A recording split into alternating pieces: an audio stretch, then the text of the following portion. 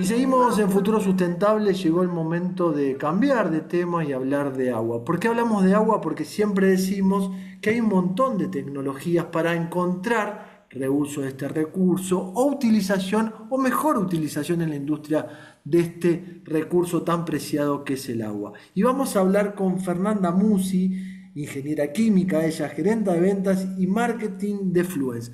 Muy buenas tardes, Fernanda, la Melga y Pablo Gao te saludan. ¿Cómo estás?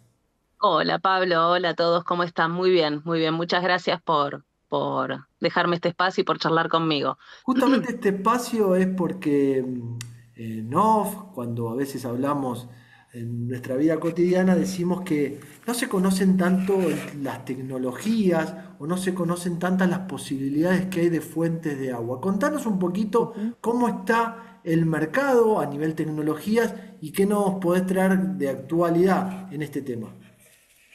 Dale, Pablo. Bueno, vos sabés que, y, te escuchaba antes cuando presentabas que, usamos mucho la palabra recursos, ¿viste? del tema del agua y, y quizás está bueno primero em, entender bien qué significa que nosotros tenemos un recurso tan valioso como es el agua, ¿no? que obviamente este recurso es algo que nosotros tenemos, es una fuente, un suministro, un material de, del cual podemos producir un beneficio, o sea, es cuando tenemos algo. Em, los recursos, que en este caso es un bien natural, en el caso del agua, eh, cuando hablamos y le queremos dar significado como recurso en el mercado, eh, es que le, podemos hacer referencia a los diferentes usos que nosotros le damos al agua, desde el consumo social hasta el industrial y la agricultura, que es fundamental y uno de los, de los, de los mayores este, de, la, de las mayores industrias donde se consume la mayor cantidad de agua. Eh, y bueno, y de ahí la importancia, ¿no, Pablo, de cómo lo, lo, hacemos, lo cuidamos, cómo le damos acceso a todos y a todas, porque no solo hablamos de recursos, sino que hablamos del gran recurso por naturaleza, que es el agua, el agua es vida, y todos tenemos que, que tener acceso. perdón, que te... perdón que te interrumpa, vos hablabas de los procesos industriales y hablabas de, del uso del agua en la industria agrícola, ¿no? o en el campo, por decirlo también de otra manera. La industria normalmente eh, es uno de los consumidores más importantes del agua o, de este recurso de agua, como digo, y busca alternativas para mejorar consumos o para poder reutilizar. ¿Se conocen estas tecnologías tanto? ¿La industria está consumiendo eh, tecnologías nuevas en materia de agua, por ejemplo, de las que pueden ofrecer en el caso de Fluence? Sí, yo creo que, que en, mi opinión estamos camino hacia, hacia ello. Eh, el gran desafío que enfrentamos es justamente eso, ¿no? Cómo se regula, cómo se mitiga, cómo compensamos, cómo regeneramos esa cantidad de agua que utilizamos. Em, y creo que es fundamental acá eh, la incidencia y la participación de, del Estado con políticas más agresivas en cuanto a, mm, a, cómo se devuelve al ambiente esa fuente de agua que uno se que, la industria consume, no, son, no solo en calidad, sino también en cantidad. Y ese es el, es el gran desafío que hoy estamos enfrentando. Nosotros desde Fluence, ay, perdón que estoy saliendo de una gripe. No hay problema, no hay problema. Nosotros desde Fluence entendemos em, que hay una escasez y una competencia por, por este recurso tan vital y no solo trabajamos en diferentes eh, eh, técnicas para eh, reutilizar el agua, eh, sino que nos metemos un poquito más de lleno trabajando en lo que es la gestión integral de activos para garantizar la eficiencia, la fiabilidad y la sostenibilidad de los sistemas de tratamiento y reuso de agua.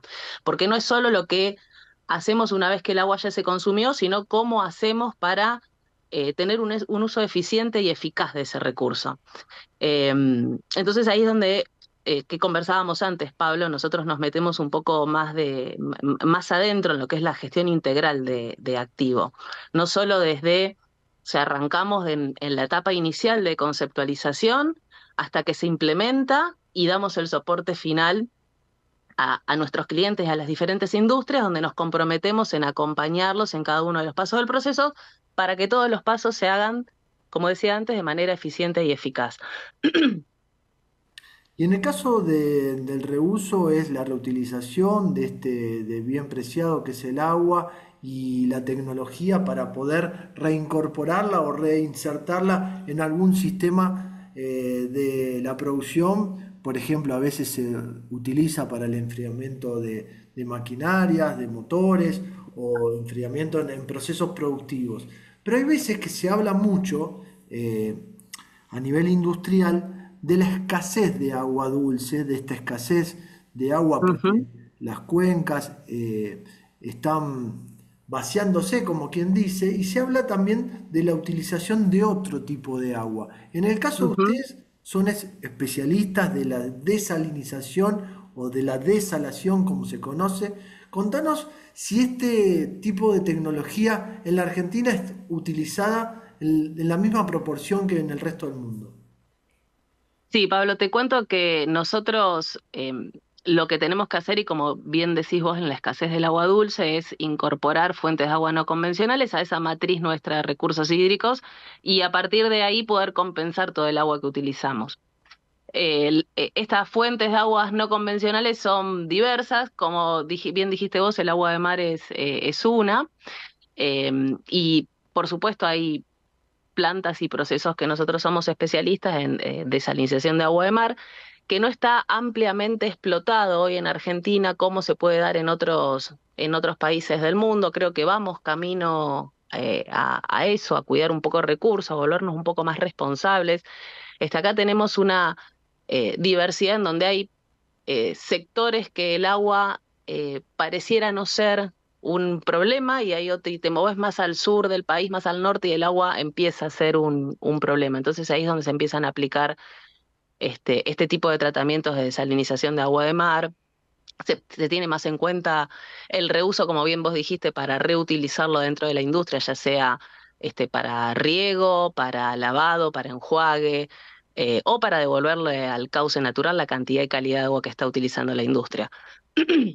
Y en el caso de la desalinización, vos eh, que estás en el mercado y que recorres día a día la industria, ¿la industria no lo ve todavía por un tema de costos o por un tema todavía de que no, no se ha probado la tecnología como en el caso de Israel, por decir un país, ¿no? Sí, mira, yo creo que acá lo que está, lo, que pasa y, conversábamos al principio es que tenemos que trabajar en algún marco regulatorio pensando en los desafíos que se van a venir y que debemos abordar. Vos apuntás que falta política pública, ¿no? Sí, por supuesto. Acá la, la, tecnología está, está probada, está ampliamente probada. Este, yo creo que tenemos que sacar de juego cuestiones eh, netamente filantrópicas de unos pocos y empujar a que grandes compañías, campos, industrias apliquen en esas matrices productivas el, el, concepto de este de, de, reutilizar, de fuentes alternativas, y que a través de regulaciones eh, hacerlo parte de su operación diaria, ¿no? ¿Qué es lo que pasa en países como vos mencionaste, ¿no? Que no solo se, que, eso también se traslada a la cadena de suministro y a los usuarios, no es que solo se, se, se rehúsa y se vuelve eficiente el recurso puertas adentro. Entonces, si podemos extrapolarlo a, toda esa matriz productiva y a toda la cadena de valor, se va a tener una posición mucho más favorable en cuanto al, uso estratégico del recurso. Hoy, hoy creo que no está arriba de la mesa la discusión de si funciona o no esta tecnología. Está, está aprobada y lo, que está faltando es, es un marco regulatorio que empuje eh, a los pequeños, grandes y medianos a, avanzar hacia ese lado. De hecho, las industrias que eh, más en auge están y más este, comprometidas están con el cuidado del agua son industrias que tienen eh, bases, su base matriz no es acá, sino es afuera. Em, pero bueno, yo, yo creo que, eh, Pablo, este es el momento donde se, se, presentan estas oportunidades, ¿no? Y entonces la otra este, pregunta que me viene a la cabeza es entender, vos hablas de falta de política pública, hablamos de falta de, iniciativa, por decirlo de otra manera, también de los gobiernos, entendiendo que nosotros tenemos una extensa eh, costa, digamos, hacia el mar argentino, ¿no? entendiendo que hay provincias como Buenos Aires, Río Negro, Chubut y Santa Cruz que dan al mar argentino, como te decía recién. Tendríamos la posibilidad de utilizar mucho, mucho recurso de agua salada. Y estas provincias per se independientemente de la política pública a nivel nacional, eh, ¿no vieron esta posibilidad de desarrollarla y decir, hago algún programa como en el caso de Mendoza y algún departamento de irrigación? Sí, sí, en algunos casos sí se implementan y se usan, de hecho en el, en el sur hay plantas desalinizadoras que proveen aguas a, comunas eh, más chicas. Em, eh, sí, sí, sí, eh, y va más allá de la cuestión de política, de política pública, ¿no? Sino también de, de, que haya, considero en algunos casos, entes externos privados que inviertan, este, que aporten.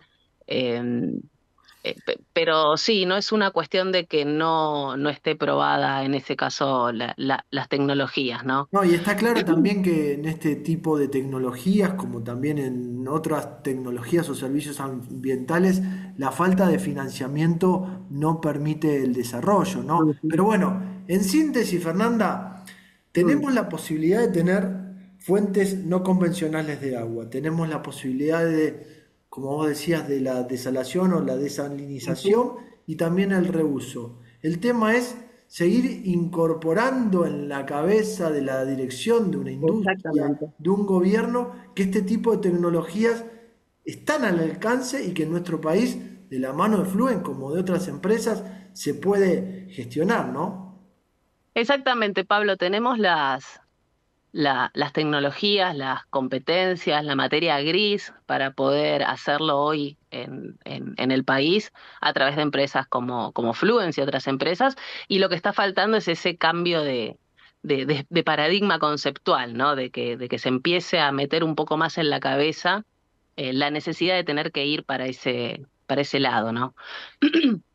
Sí, bueno, para ir cerrando, recordémosle a la audiencia que no hace mucho tiempo para demostrar que el agua de mar podía ser incorporada no solo en un proceso productivo, sino en un proceso de, una bebida, la, empresa Antares, marplatense, había sacado una cerveza con agua salada, ¿no? Sí, sí es cierto. Sí, sí, es verdad. Muy, muy, muy bueno el ejemplo que, que traes, Pablo. Este, por eso digo cambio de paradigma, porque mm, eh, no, solo es eh, querer aplicarlo, sino también uno entender que la calidad de agua que se puede lograr desde el agua de mar hasta cualquier otro, eh, otra fuente de agua no convencional, como, puede ser un efluente, en calidad es igual al agua que nosotros hoy tenemos de, de cauces superficiales de agua dulce. Em, es también es, eh, esto que veníamos diciendo, un cambio de, de, chip, ¿no? De switcharse diferente. Em, el agua de vertiente pareciera que es, viste, la propaganda que uno va y toma agua de vertiente y muchas veces un efluente tratado tiene una calidad superior. Pero vos eh, fíjate justamente, vos hablabas del agua de vertiente y a mí se me vino la cabeza, a, la cabeza alguna publicidad que uno ha visto donde ese agua de vertiente después iba a una botella y era un agua mineralizada. Es decir, que acá lo que veo para ir cerrando es que eh, nos falta conocimiento. Yo no digo educación porque en algunos casos eh, nuestra educación básica llega hasta entender que el agua es un recurso, que es importante para el crecimiento, para la salud, pero cuando hablamos de fuentes, ustedes que son especialistas, en el caso tuyo ingeniera química, como tus compañeros, entender que este recurso en la industria es tan importante y que puede haber distintas alternativas. Y ahí es donde creo que en la alta dirección y que en algún organismo público también falta eh, la iniciativa, el conocimiento de poder saber que este tipo de tecnologías nos lleva, como te decía recién, el ejemplo, ¿no? al poder tener un vaso de cerveza en casa que es de agua salada. Exactamente, exactamente. Sí, sí, Pablo. Fernanda, no te robo más tiempo, vamos a seguir hablando con la gente de Fluence sobre el tema tecnologías de agua y bueno, espero verte pronto, seguramente nos encontramos el día 6 de 5 de junio en el evento en Buenos Aires Así festejamos el Día Mundial y ustedes participan del panel de escenario hídrico. Excelente, Pablo. Bueno, muchas gracias a ustedes por el tiempo y sí, vamos a seguir en contacto. Gracias por, por el espacio y por, por, llevar este mensaje que es tan importante. Gracias Fernanda. Y era Fernanda Musi, gerente de ventas y marketing de Fluence, que nos traía el tema agua, el tema recurso y también todas las tecnologías disponibles. Seguimos en este futuro sustentable.